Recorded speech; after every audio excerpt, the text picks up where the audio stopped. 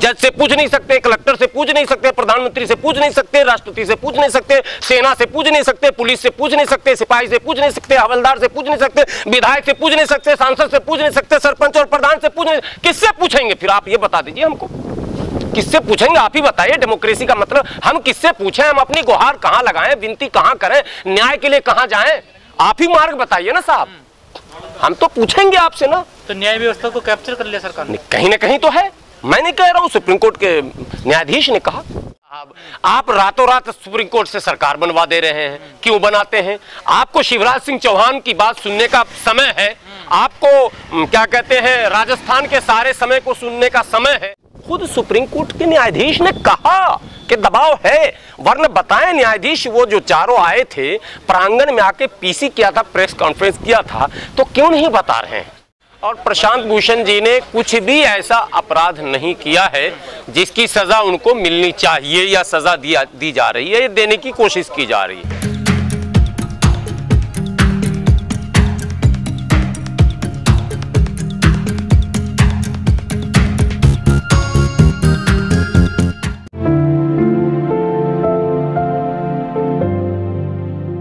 लेकिन प्रशांत भूषण ने कहा कि मैं माफ़ी नहीं मांगूँगा। सबसे पहले तो प्रशांत भूषण जी के इस कदम की हम सराहना करते हैं और उन्हें आश्वस्त करते हैं। हमने पहले भी बयान दिया है और आपने कवर किया है। देश के नामचीन वकीलों ने उनके समर्थन में सुप्रीम कोर्ट के सामने प्रदर्शन किया था और कई नामचीन संगठनों ने, जिसमें आपने डी ओ एम संगठन का बैनर भी देखा उसने भी और कई संगठनों ने, उसमें मेरा भी संगठन साथ में इंक्लूड है। हम प्रशांत भूषण भूषण जी के स्टैंड के साथ हैं। बिल्कुल। दरअसल एक ट्रेंड पिछले दिनों चला था। और उससे पहले कि मैं उस ट्रेंड के विषय में कुछ बताऊँ, ये ज़रूर बताऊँगा कि जो सम्मानित हमारे माननीय सुप्रीम कोर्ट के हमारे जजेज हैं, और वो वही लोग हैं जो चार जज बाहर आए थे सुप्रीम कोर्ट के प्रांगण में और मीडिया कर्मियों के समक्ष आकर कहा था गिरगिराते हुए कहा था कि डेमोक्रेसी जो है वो खतरे में है और हमारे ऊपर एक दबाव है।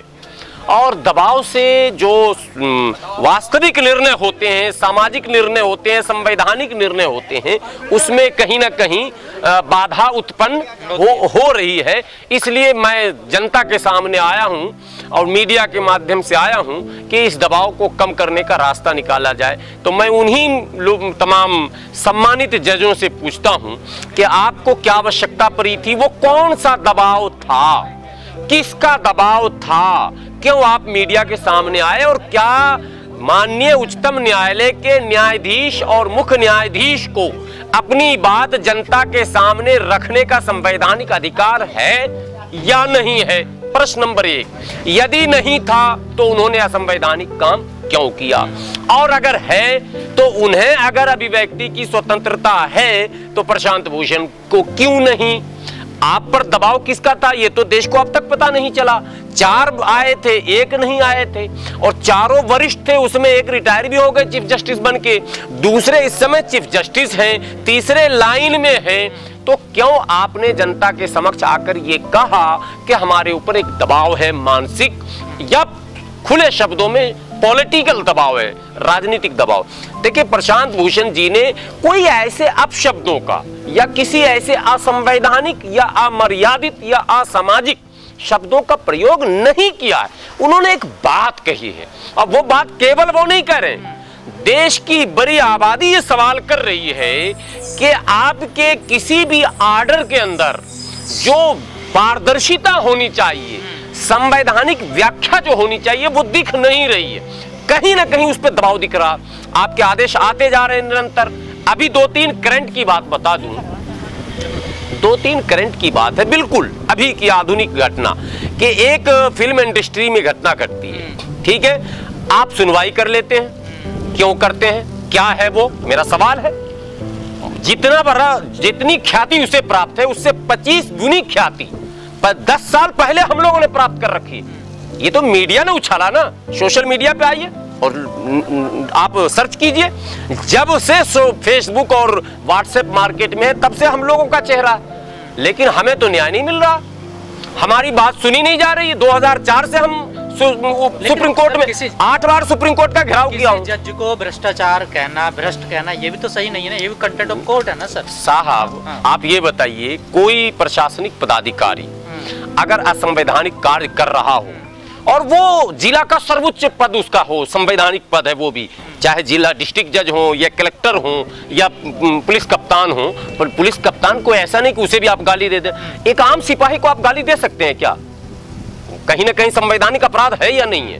तो बस यही चीज़ है। लेकिन अगर वो गलत करता है तो लोग कहते हैं या नहीं कहते हैं? ये फिर मेरा अधिकार है। प्रशांत भूषण को एविडेंस देना चाहिए ना कोर्ट जब एविडेंस मांग रहा तो एविडेंस दे पूरा भारत दे, देख रहा है एविडेंस को। पूरा भारत देख रहा साहब। मैं व्यक्तिगत कह रहा हूँ मेरा नाम Hafiz Ghulam Sarwar All India United Muslim Morcha 2004 में मैंने पीआईएल दाखिल किया सुप्रीम कोर्ट में और 25 बार गुहार कर चुका हूँ चार बार धरना सुप्रीम कोर्ट के खिलाफ कर चुका हूँ। आपने कवर भी किया दो बार। क्या आपके पास क्यों नहीं समय महामहिम? क्या मजबूरी है कि उस मुकदमे को आप नहीं सुनते? मैं ये पूछ नहीं सकता हूँ भारतीय होने के नाते क्या आप मेरे पड़ोसी का सुन रहे हैं और वो भी रातों रात सुन रहे हैं और मेरा 16 साल हो गया मुकदमा नहीं सुन रहे हैं। आपसे प्रश्न करने का अधिकार नहीं है तो फिर डेमोक्रेसी नहीं है।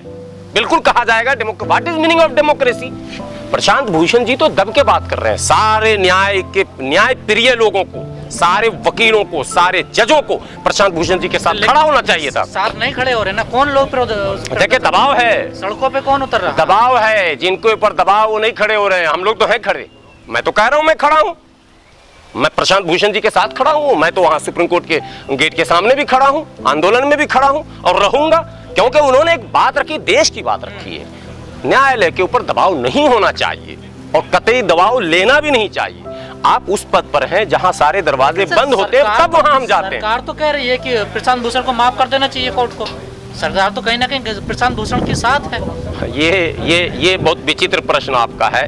सरकार साथ है या विरोध में है ये भी देश जान रहा है। ये भी देश जान रहा है। और अगर सरकार साथ है इस समय तो मैं समझता हूँ सरकार की ये कदम तो सराहनीय है।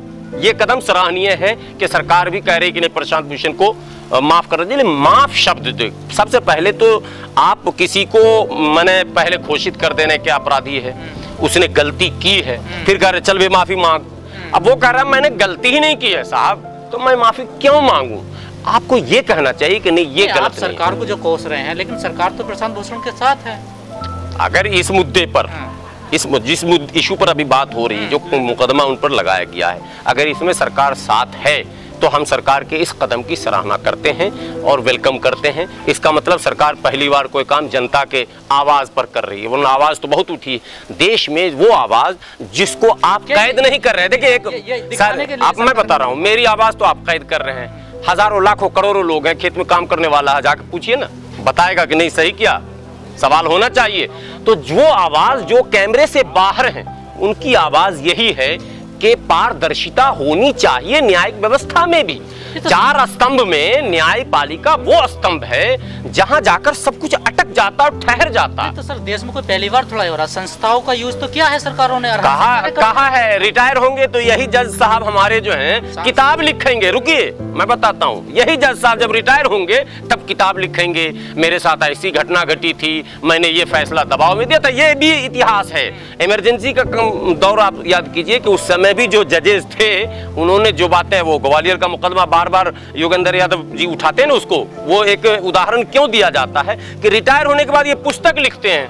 और अपनी कहानी लिखते हैं। अरे साहब, आज आप इतिहास लिख दिए रिटायर होने के बाद आपकी किताब कोई नहीं पढ़ेगा। अगर आज आप पद पर हैं पावर पर हैं, ऐतिहासिक फैसला और संवैधानिक फैसला और सामाजिक फैसला अगर देंगे तो वो इतिहास के पन्नों में अमर होगा। और यदि रिटायर होने के बाद आप मोटी मोटी किताब लिखेंगे, अपने स्मरण को एकत्रित करेंगे तो उसको पढ़ने के लिए भारत के लोगों के पास अब बहुत समय नहीं है। भारतीय समाज का एक ऐसा पाठ है जिस पर सदैव हम लोग बोलते रहते हैं, ये हमारी विडंबना है कि न्याय के लिए भी किसी को न्याय दिलाने के लिए भी उसका सौजातीय होना अगर अनिवार्य हो तो ये न्याय दिलाना नहीं है। कोई मुस्लिम व्यक्ति के लिए अगर मैं खड़ा होता हूँ तो मैं, मैंने न्याय के साथ खड़ा नहीं हूँ, मैं जाति और धर्म के साथ खड़ा हूँ। हमें खड़ा होना चाहिए न्याय के साथ। और न्याय के साथ खड़ा होने का अर्थ यह है कि वो एससी है, कि एसटी है, कि ओबीसी है, कि मुस्लिम है, कि अपर है, कि ब्राह्मण है, ये नहीं देखा जाना चाहिए।